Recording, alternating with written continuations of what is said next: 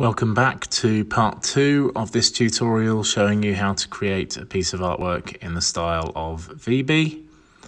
And I have so far taken myself and um, used Threshold to turn me into a bit of a stencil, um, put myself on a background, and I've just cut and paste um, a drawing of a butterfly I did um, into the picture.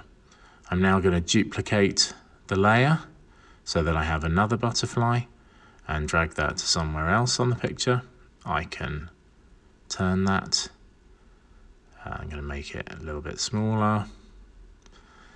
And crucially, in VeeBee's work, all the butterflies are different colors. So we're going to go to Image, Adjustments, Hue Saturation, and we can slide the hue bar and get a different color.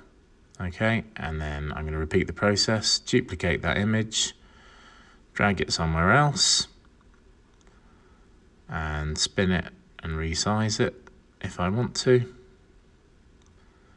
And then same again, image, adjustments, hue, saturation, and slide the hue till you get um, a color that you want. Uh, you can also up the saturation to make it a bit more bright. Same again, image adjustments. And um, this time it's probably worth learning the, um, once you've placed it, that you can press Control and U and that brings up the hue saturation. So in this instance, it's going to make it a lot quicker if you remember the shortcut Control and U. And you can keep repeating that until you're happy with the amount of butterflies you've got in your image. Um, now, the last thing I want to do is think about that colour that you see um, in the lips and sometimes in other places in VeeBee's work. Uh, and to do that, I'm going to create myself a new layer and then I'm going to use the polygonal masking tool to mask off my lips. And once I'm happy with that, I'm then going to go over to the color and choose an appropriate color, in this case a light pink. Click OK. Go to my paint bucket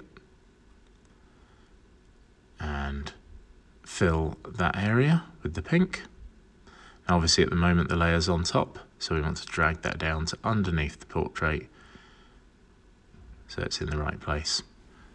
And that is the end of this tutorial.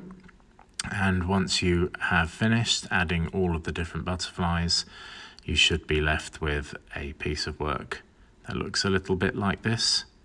I hope this tutorial was useful for you. Thanks a lot.